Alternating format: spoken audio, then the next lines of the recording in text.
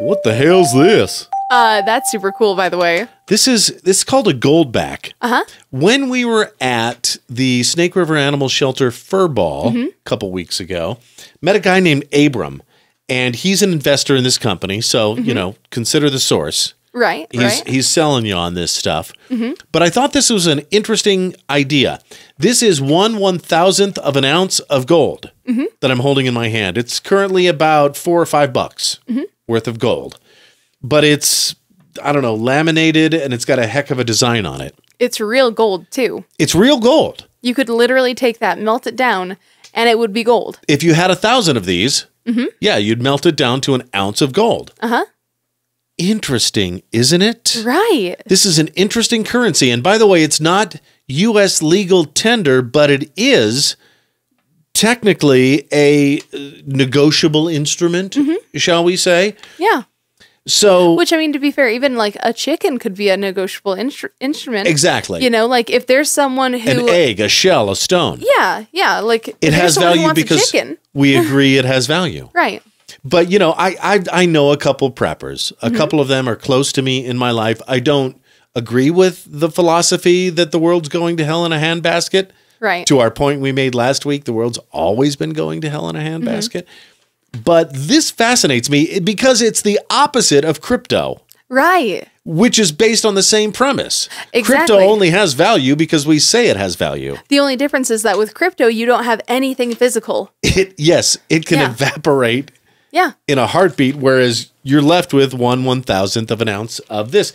Goldback.com. gold, and gold can be used for a lot of things Yeah. outside of just jewelry. Like it, it's put in electronics all the time. Yes. There are actual valuable reasons to have and use gold. There's a theory that the only reason we exist on this earth Mm-hmm. is because we were planted here by aliens to mine gold.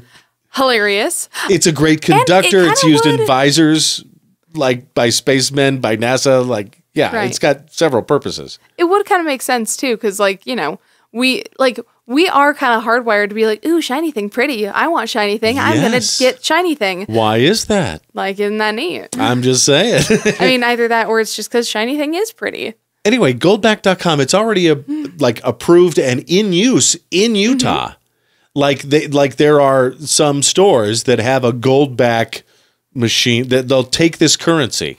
Wild. So That's yeah, cool, it's though. Mm-hmm. it, it's kind of cool. It's kind of a cool idea. Just throwing that on your radar if you're interested in that kind of stuff. This is something I think if it comes to The Walking Dead, Right. you know, Okay, but also- you can negotiate with. Hear me out though. If it comes to The Walking Dead, gold will no longer have a value. We don't need gold to do anything. At that point, what we need are f- we need food and ammo. Well, yeah, again to the point that it is worth what people say it's worth. Right. Realistically, if we were in a Walking Dead type situation, people don't have the room in their backpacks to be carrying around gold backs. Well, okay, I agree, and I just want to say these are super thin. Sure. And if I had a thousand of them, they probably wouldn't be that heavy. They wouldn't be too bad. That's and the, true. the one thing they say on their website is this solves the problem of negotiating, Mm-hmm. you know, purchasing something with something of value You're right. uh, at smaller increments than, say, having a gold coin or a gold bar. Which is brilliant.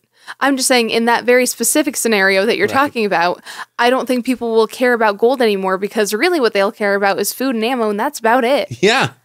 Yeah. And baseball bats with barbed wire wrapped around them. And red scarves for some reason. Yeah. yeah, yeah, like a like a really bitchin' leather jacket. That's about it. You know, so if you got a really bitchin' leather jacket, hang on to that because that's really what you're going to need to barter with.